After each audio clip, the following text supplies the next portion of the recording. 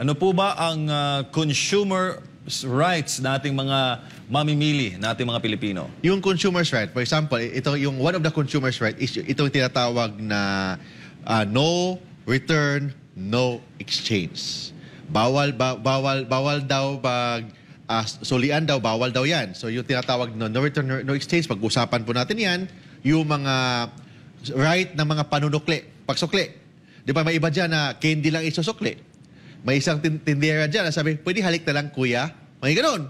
Eh, hindi pwede yan ha. Pag-usapan po natin yan. And pangatlo, yung mga tinatawag na mga gift certificate na may minsan mga promotion, minsan binibenta ang mga gift certi- certificate. Pag-usapan po natin yan. Ayan, sa, tutok lamang po kayo mga kababayan. Ang ah, programang po ito ay para po sa inyo. Unahan ko na Kuya Mark.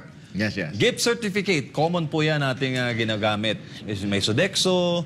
At Yung gift certificate, dalawang klase ang gift certificate. Mm. May tinatawag na gift certificate, may tinatawag na certificate cards. Oh. Ang gift certificate, it is issued by the consumer. Issued yang by the consumer for a monetary consideration. With a promise na pwedeng palitan ng mga consumer goods and services upon presentation of that gift certificate. Ibig sabihin, binibenta binabayaran ang isang gift certificate. Mm. Yun ang tinatawag na gift certificate. May isa namang tinatawag na certificate card. Ito yung mga binibigay, mga awards. Minsan, mga loyalty awards, mga promotional sale, mga ganon. Di ba? May mga program, may mga, ah, for example, ah, ah, isang anniversary, nagbibigay ng mga cards sa mga customers, mga ganon. So, yun ang tinatawag na, na certificate card. Iba yung certificate card, iba yung gift certificate.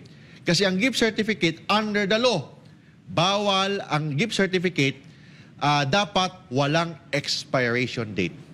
Basta gift certificate, ibig sabihin, yung mga binibenta ng mga gift certificate, walang expiration date yan.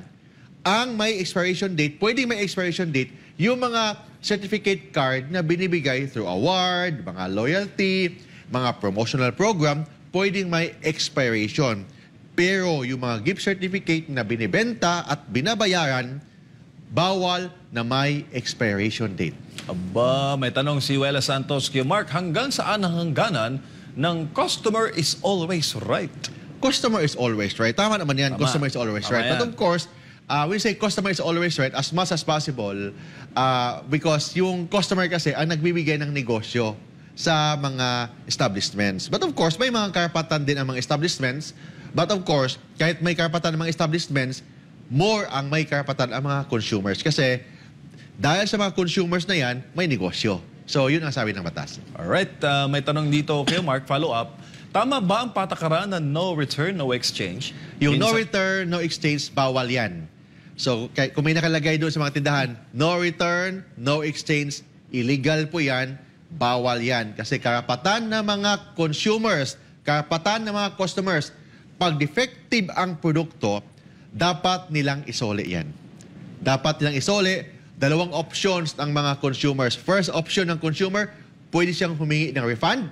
Second, pwedeng isole, palitan ng bago ang isang produkto. Right yan ng isang customer, but of course, may certain period, dapat within 7 days, pag may, may certain sira yan, kailangan isole nila, pwedeng ipa-refund or pwedeng palitan. But ang mamimili dyan, kailangan ang customer ang mamimili. Hindi pwede ang tindahan ang mag-decide kung refund ba or palitan ng bago. Thank you kayo, Mark.